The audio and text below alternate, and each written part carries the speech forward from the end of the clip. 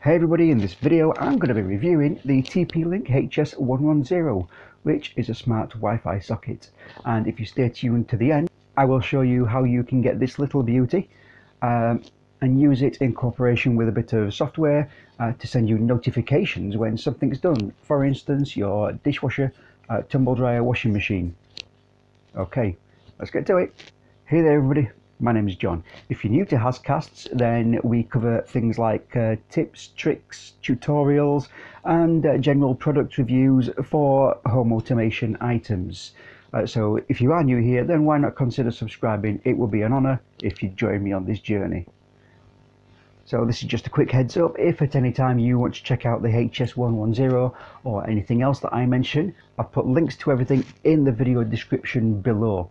Uh, now, full disclosure, if you click on the links, they are affiliate links. I get about 4-5% uh, commission on the purchase price, but you don't pay any extra. It will go to uh, helping me get some better equipment to record videos, as this is my 13th full take of this video.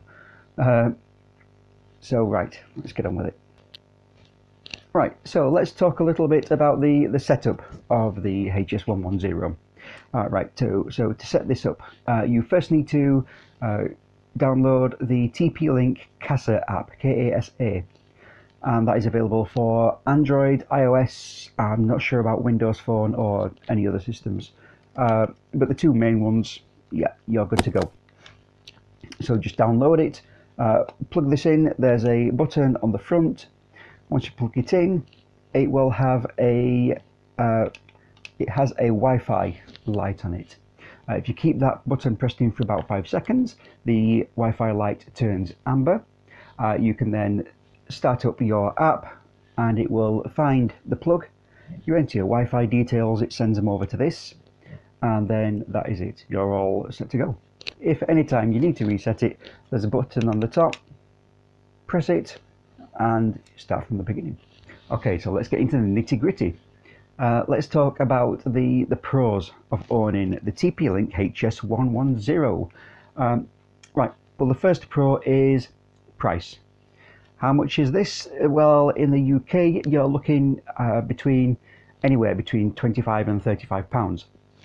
Um, in the US and the EU, you're looking at $30, uh, 30 euros respectively, uh, about ballpark figures.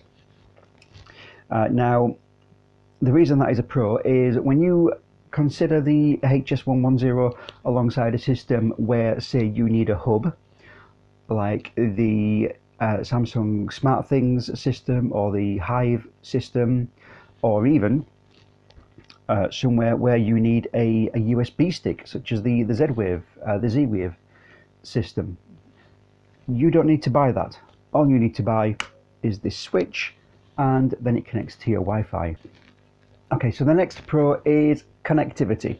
When you think about it, you don't need to uh, go through the hassle of connecting this to a different system. Uh, you don't need to learn it, especially if you just buy in a hub so that you can uh, use a smart switch, that in itself is not smart, in my opinion, unless, of course, you're looking at uh, expanding your system. So, this is just setting up a simple Wi Fi device. Um, most people can do that. If you're looking to get into home automation, then it's something that you probably uh, can do already. The next pro is reliability. Now, this particular HS110 I've had for uh, around about two years plus, and it has never let me down. It's never failed me. Uh, I must admit, I'm the first one to admit that when it comes to my own gadgets, my own electronics, I'm not the most gentlest of people. Sometimes they do get thrown around. Um, why? I don't know. Again, this has stood up to everything that I've thrown at it. I'm not saying that you should be kicking it around the floor with steel toe capped boots. Um, I'm saying treat it with respect. And as you can hear, there's a bit of a bit of a rattle in there, but this is plastic. And for a piece of plastic, this for a piece of plastic, this is well built, sturdy. Okay. Right, so we've done the pros. Now let's talk about the cons of owning this item? Uh, well, so the first con is connectivity. Yes, yes, I did say that connectivity was the first pro. I'm also saying that it's the first con. Why is that? Well, when you think about it, this is a Wi-Fi device, and that means that it is battling for space on an already uh, crowded Wi-Fi network that we uh, that we quite often have. When you think about it, you've got all the electronic devices, all the uh, all the smart home things that run on Wi-Fi, all your phones, tablets, um, TVs, consoles, printers, everything is all vying for that same uh, mesh of signal range. And quite often it can get very, um, what's the word? Quite often it can get very congested. So if you do have uh, a lot of Wi-Fi devices, then if you're noticing that your system is slow, it may be that uh, you do have too many devices. I myself, I've got loads of Wi-Fi devices connected to my network. Um, I believe there's 65 plus uh, things connected to my um, Wi-Fi network at the minute, and the system is uh, the system is fine. This certainly doesn't slow it down. However, it's just something for you to be aware of. Um, now, along with that, I'm, I am aware that uh, there are a few uh, sort of router manufacturers out there that actually limit the amount of Wi-Fi items that you can have connected to your router. Admittedly, I have never come across one, and I believe they are very few and far between. Uh, but if you do have hundreds, then it is something to uh, be aware of. So the next con is price. Yes, price. You did hear, hear me right. You did hear me right. I did say price was the second pro. That's why I'm saying it as the second con. Why? Well, look at it this way. Um, yes, it is cheaper than buying a hub and a switch just so that you can use a smart switch. However, if you are technically minded and you don't mind, say, flashing the board of a Sonoff POW, however you want to pronounce it or say it, it's a lot dearer than that. You're looking at twice the amount of money. You can pick up a, a Sonoff POW uh, for maybe 15 uh, dollars, pounds, euros, shingles, whatever. Uh, but if you're not technically minded, and I would say if you have children or pets, and go with this. Uh, I'm not a big fan of Sonoffs. I have uh, around about 20 of them, and they're in. They're mostly uh, basics with a few variants uh, thrown in and I, I was a big fan of them to begin with until my son and pets nearly got electrocuted. Um, just through a simple act, they're just not sturdy. In order to make them sturdy, you may as well fork out for a decent smart uh, switch instead of a Sonoff. My opinion, as always. And the last con that I'm going to talk about could also be classed as a pro as well. Um, in the UK at least, the TP-Link HS110 is discontinued, apparently. Uh, I found this out by uh, looking for, I found this out when I was looking for the, uh, the 110 on Amazon so that I could post my affiliate links in the description below. Um, but I found that every Amazon country that I searched I could find it, apart from the UK. Uh, so I contacted uh, TP-Link and they said, yeah, it has been discontinued. However, I then got onto eBay and did a quick search on eBay and I found uh, the right model, HS110, uh, for the right price, £35. Sometimes I found brand new models less.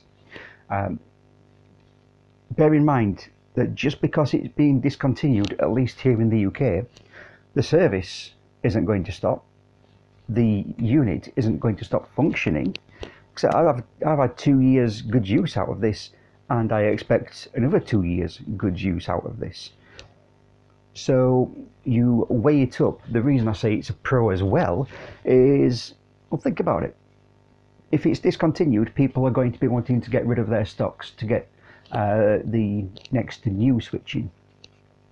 So that means that people could be lowering their prices. You may be able to pick it up for less. Have to look around. However, if you do click in the links in the description below, most of the countries will go to their respective Amazon store uh, or the nearest Amazon store to them.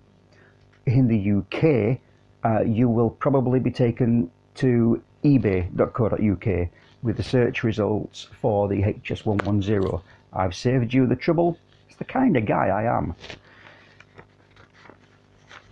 Right, so all that is done.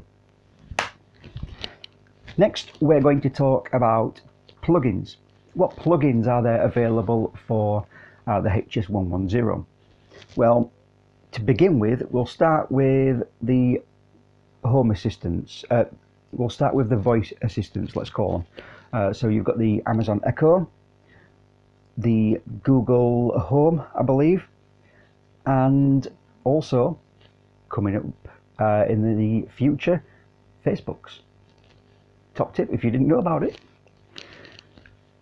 Right, so which ones of those are supported? I know the Amazon Echo has got a dedicated skill, a TP-Link skill, and that will allow you to say Echo, turn tumble dryer on, and Bob's your uncle. So that's that. Next one is Home Assistant. For those of you that have been watching me for uh, for a while, for all of my last seven or eight videos maybe, this video is primarily dedicated to the Home Assistant platform uh, stroke framework of home automation and that in itself is made up of components uh, that link that integrate with third-party uh, items.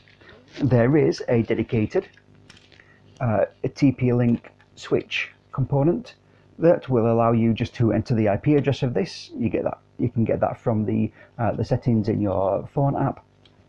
Enter the switch, give it a name. Bob's your uncle, Fanny's your aunt. It works. Presto. Right. Uh, the last one that I'm going to talk about is Node-RED. If you have followed me, then you will then you may be aware that I'm a big fan of Node-RED. Uh, if you haven't got Node-RED installed, then I will put links in the video description above uh, to my playlist on Node-RED, including how to install Node-RED on a few different systems. So when you go into Node-RED, um, there is a dedicated, in fact, I believe there are two or three dedicated uh, TP-Link Kasa modules.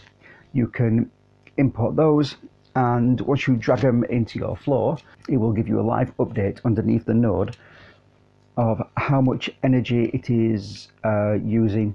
So how many watts it's using, how many amps it's drawing, and what voltage it has available. Right, so the last thing I'm going to do is I'm actually going to give you a, a quick brief description on how I get this and the software to notify me when something's done. Now all these instructions I'll put in the description below, uh, so if you're interested just uh, take a look at any time. So we need to know uh, for variables, we need to know how many watts the item that you're using, the item that you want to monitor uses uh, for the case of my tumble dryer, I set it at 100 watts. How often do you want to check whether it is active or not? If it's something that uh, goes on for a while, say a tumble dryer or washing machine, you can have a, a bit of an extended period, say every 15 minutes. So I've got mine set to every 15 minutes. Once it is active, how long do you want it to continue checking? I have mine set to two minutes. And once it's finished, how do you want to be notified? Uh, you can get these from your uh, Home Assistant uh, system. Find out what notifications you've got, install any that you want that you don't already have. They're the ones. Right, so briefly, we have the appliance plugged in. It asks how much energy are you using. not using much, I'm on standby. I'm using 3 watts. Okay, so that's not active. I'll check again in 15 minutes. 15 minutes passes. We'll check again. How much energy are you using? I'm using 372 watts. Ah, so you've been turned on. Okay, so now we'll reduce that from 15 minutes and we'll reduce it to 2 minutes. Every 2 minutes I'm going to check with you. So after its 15th check, uh, so what's that, 30 minutes, it says how much energy are you using? I'm using 72 watts. So, right, so you're using less than 100 watts. Have you finished? Question mark. Ding, or in your case, ding. So, have you finished? Now then, in the case of my tumble dryer, it spins, spins, spins, it stops spinning, then it starts spinning the other way. I believe it's to stop the clothes from becoming creased, as a guess. Um, however, what happens if it does ask the tumble dryer how much energy it's using just in the midst of that stop? So to counteract anything such as that on any appliance that you monitor, um, I've put in another uh, two minutes. So I'll ask you again in two minutes just to make sure. In two minutes, it asks again, how much energy you you you using? I'm using three watts. Right, okay, so you've finished. Uh, so now I look at the fourth variable. What notifications do you want? I fire them off, and in my case, I get a text message on my phone saying, "Hey John, sorry to disturb you, but the tumble dryer has finished." Does that sound like it would be useful to you? If it does, let me know in the comments below. Um, is there any alterations that you would make to that? Do you own one of these?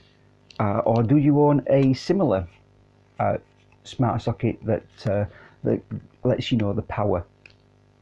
So let me know what you think in the comments below to any of those questions or if you've got any questions of your own that you want to ask me let me know in the comments below so thanks for watching. Like I said, if you're new to Hasscasts, why not consider subscribing? If you subscribe already, then why not ring the bell in that notification bar and that will make sure that uh, you're notified when my next videos come out.